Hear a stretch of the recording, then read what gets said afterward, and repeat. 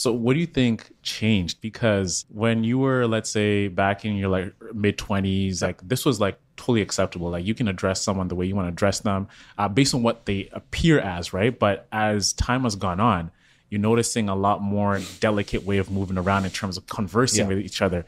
Where do you think this pressure to adapt to this way of living came from, in your opinion? In My honest opinion, yeah, I think it's a distraction. I love my conspiracy, conspiracy theories. I love all that kind of stuff too. Mm-hmm. Yeah.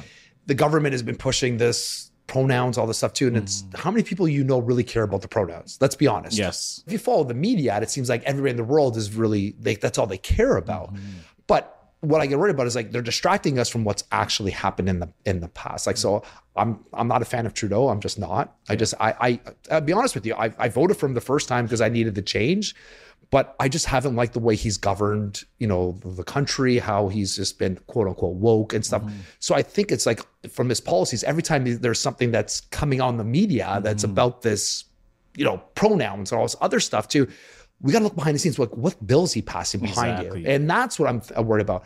I look at the person. I just don't like Trudeau. I just Yeah. don't, and I don't like what he's been doing. do you feel like he's not being genuine? No, not at all. When we're talking about all the stuff that's being pushed along the agenda and stuff mm-hmm. too, well, what's going on in the background? So back to mm. like, and that's like, you know, there's been bills passed, of which if you look at all of some like there's things are happening like B, Bill C twenty something, right? Right. Like the internet bill, like where everything that you do on the internet is going to be even censored even more. So Yeah. they're going to be pushing one type of content towards like your feed, your YouTube, your Instagram, and everything going on. So essentially, they're ushering a new way of thinking, all the same. Like if you have an opinion that's totally different from what is actually supposed to be thinking, that's not right.